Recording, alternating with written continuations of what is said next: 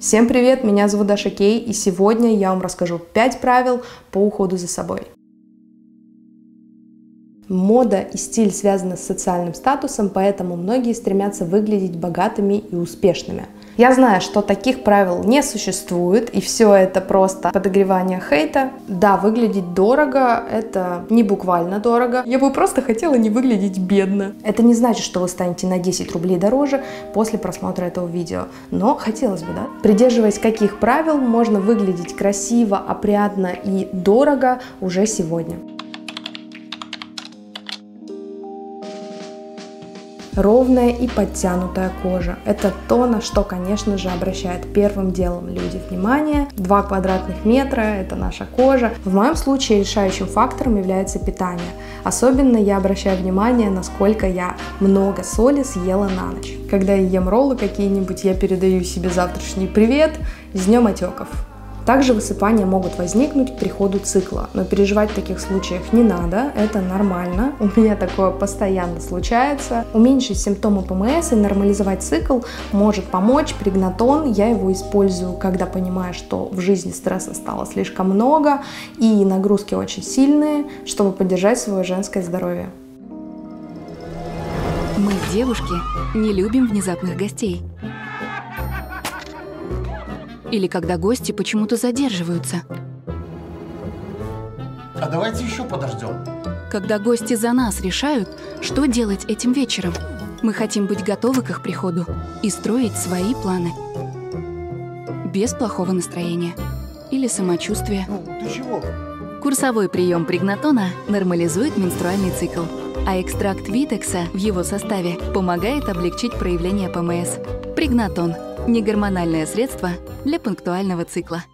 А чтобы запустить естественные механизмы увлажнения кожи и сохранить запасы ее влаги, я использую очень легкую эмульсию от Clarins линейки Гидра. Она запечатывает верхний слой кожи, образуя на ней легкую полезную пленочку. Эмульсия легко тает и распределяется по всей коже. После точечно я могу нанести крем, где хочу увеличить увлажнение. Обычно это щеки, подбородок и область бровей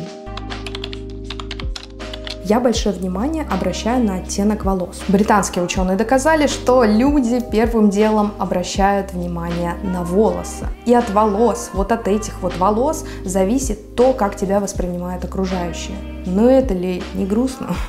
Потому что все время приходится с ними что-то делать. У меня грязная голова, а как говорила Софи Лорен, прическа влияет на то, как складывается день, а в итоге и жизнь. Поэтому я не могу выйти с такой головой на улицу. По мне это главный маркер, ухаживает девушка за собой или нет.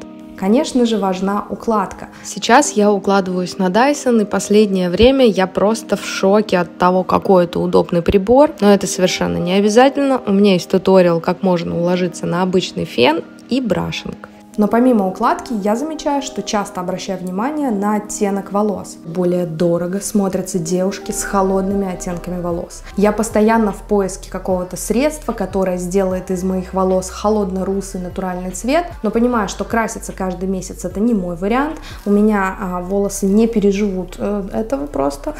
Поэтому я использую оттеночный бальзам. Запоминаем мои волосы такими и переходим к нанесению нового бальзама. Я его взяла, потому что не нашла свой старый матрик. Он хорош всем, если где-то увидите, обязательно попробуйте. Как я наношу эти бальзамы? Я хорошо отжимаю волосы, надеваю обязательно перчатки, особенно если у вас светлый маникюр, распределяя по волосам. Я наношу даже от лица, потому что пряди у лица у меня тоже выгорают и желтят.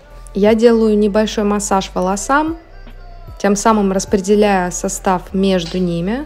Также не случайно я нанесла на зону baby hair волосиков, оставляю так на 3-5 минут. Больше не имеет смысла, потому что в составе пигмент прямого действия, в котором нет химической реакции. Бальзам имеет накопительное действие. Уже после второй помывки волосы стали действительно более холодными.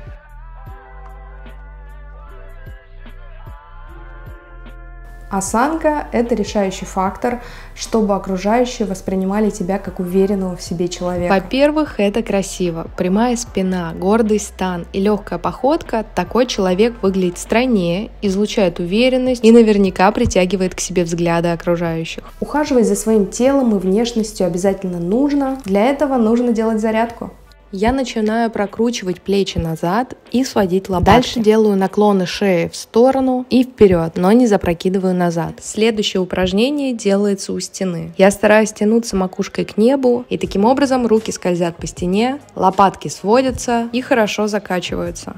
Теперь обязательно нужно растянуть грудные мышцы. Я постоянно массажирую, растягиваю эту область для того, чтобы расслабить. Лайфхак, который я подсмотрела на занятии по балету, положить руки на плечи и подтянуть локти к талии. Таким образом спина сама распрямляется. Для закачки спины хорошим будет упражнение лодочка, а для расслабления и растягивания грудного отдела можно взять что-то из йоги. Например, собака мордой вниз. Самое главное тут растянуть не ноги, а грудной отдел. Поза ребенка и собака морда вверх. Скоро снова пойду на йогу.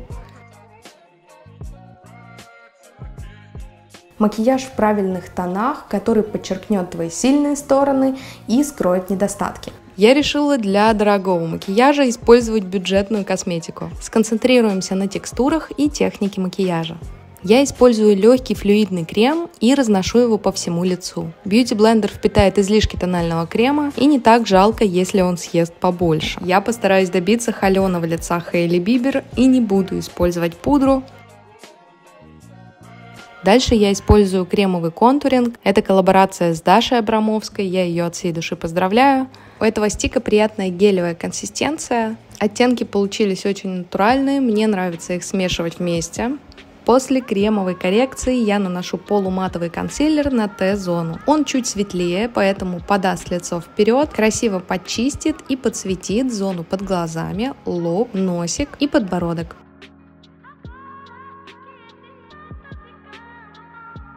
Карандашиком от Maybelline я прокрашиваю брови, стараюсь придерживаться прямой, естественной, очень полупрозрачной формы. Для этого мне почти не нужно давить на карандаш, особенно в зоне начала бровей. Я хочу выровнять форму, но не изменить ее. Фиксирую брови гелем Art Visage. Мне нужно лишь немножко выделить волоски, поэтому он тут подойдет. Беру бронзер от Revolution Pro. Он немножко сияет, его я наношу на веки. Кремовым контурингом я прорабатываю контур губ таким вот странным лайфхаком, который много кто использует. Я очень боялась утяжелить губы, поэтому взяла сливочную кремовую помаду от Maybelline, какой-то день Maybelline, в шоколадном оттенке и нанесла только на уголки губ, чтобы подчеркнуть их и чуть-чуть увеличить. Эту же помаду я использовала в качестве румян, она идеально вписалась. Промакиваю губы салфеткой и перехожу к нанесению туши. Откручиваю керлером ресницы и начинаю прокрашивать ресницы, как обычно, от корней кончиком. Я не стала рисовать стрелки, а просто добавила еще туши на кончики ресниц. Мне безумно нравится этот макияж, сразу же захотелось повторить макияж Хейли Бибер или просто сделать Clean Girl Makeup.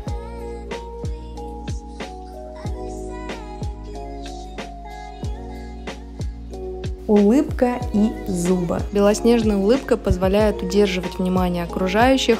В какой-то степени улыбка даже считается манипуляцией, потому что человек всегда улыбнется тебе в ответ. Чтобы эта улыбка была белоснежной, безупречной, я стараюсь максимально щадяще относиться к своим зубам. Лишний раз, когда меня посещает мысль съесть мороженку и запить ее чаем, я отказываюсь, потому что зубы могут треснуть, а клеить мне их нечем. Кстати, скоро планирую пойти удалить зубы мудрости, увидите хомяка. Надеюсь, не сильно вас испугая, и отек пройдет быстро. В зубах главное их не испортить, сберечь, но если э, зубы уже испортились, то нужно, да, ими заниматься уже у стоматолога. Посмотрите, у меня сегодня какой маникюр, до конца не понимаю, нравится он мне или это что-то странное, а с кольцами сочетается красиво. В общем, это серебряный френч влажный, с капельками воды. Но выглядит, ладно, я не буду говорить, как что это выглядит. Ищем в интернетах, как же выглядеть дорого, что же на себя надеть, чтобы выглядеть дорого. Ничего, это состояние души. Как говоря, интересно составить лук из качественных материалов, чтобы это выглядело действительно дорого. И потом вы бы в комментарии оценили, насколько этот лук. Как выбрать качественные материалы и как распознать хорошее качество одежды. Можно даже поэкспериментировать и создать свой собственный стиль именно дорогой девчонки. Напишите в комментарии, интересно было бы вам, если бы я пошла в секонд-хенд и составила там несколько стильных луков. У меня это будет в аскетичной манере, как я люблю. Иногда настроение стиль бомжа, иногда вот такая вот девчонка, тонкие бретельки, ты такая идешь, а, чувствуешь себя дорого, красиво и ухоженно. Надеюсь, эти советы вас вдохновили, и у вас появилось желание уделить время себе. Это всегда полезно, а, остаться наедине с собой. Я это очень редко практикую, все-таки у меня большая проблема оставаться наедине с собой. Да, знаю. Вот, допустим, если я увлекусь какой-нибудь книжкой, у меня начинается тревожное расстройство, что вот мне кто-то написал, позвонил, меня хотят увидеть, узнать. Мне тяжело отключиться от социального пространства. Да, знаю такую проблему. А Я купила, кстати, новую э, пену для ванны, пойду ее опробую. Вот. А с вами была Даша Кей. Увидимся в следующих видео. Пока-пока.